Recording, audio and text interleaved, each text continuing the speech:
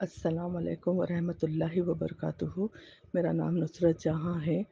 मैं रहने वाली खासीपुरे की हूँ। मेरी बच्ची की उम्र 20 साल है, कुछ डेढ़ साल पहले लम्स इन्फेक्शन हो गया था। मैं गवर्नमेंट हॉस्पिटल से उनका ट्रीटमेंट कराई, क्योंकि मेरे फाइनेंशियल प्रॉब्लम थे, मैं प्राइवेट में नहीं बता सकती थी, लेकिन उनको ज़्यादा फ़र्क नहीं आया उनको।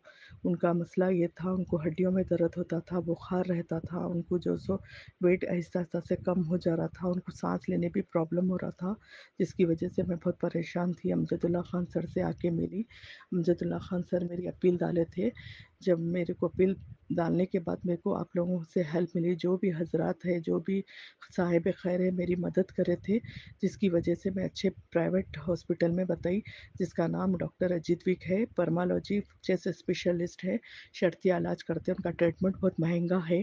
जब भी उनको जो सो लेके जाते, लेके जाके बताती हूँ, उनको पूरे ऑलमोस्ट टेस्टा करा के उनकी रिपोर्ट देखने के बाद मेडिसिन लिखते हैं, उनको जो सो जब टेस्टा कराए बाद बोले डॉक्टर कि इनको बहुत लम्स में जो सो इन्फेक्शन फैल गया। वन ईयर का कोर्स रहेगा। महीना महीना आके बतलाना, पूरे टेस्टा करके मैं रिपोर्ट देखने के बाद दवाया लिखूँगा और जल्दी इम्प्रूवमेंट लाने के लिए मैं उनको इंजेक्शन भी लिखूँगा। और जो सो एक डोज भी उनको नागा ने करना बोले थे, इसलिए मैं उनको तीन चार महीने तक बताई उनकी तबीयत में जो सो सुधार आया, नहीं बोल के नहीं, लेकिन अब क्या है बोल तो आगे मेरे को पाँच छः महीने और बतलाना है।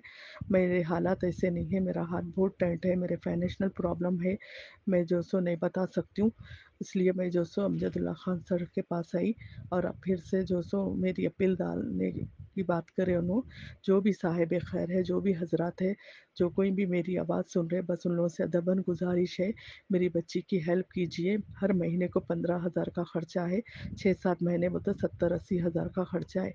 बस आप लोगों से जो सो गुजारिश करूँ, मेरी हेल्प कीजिए, मेरी बच्ची की जो सो मदद कीजिए।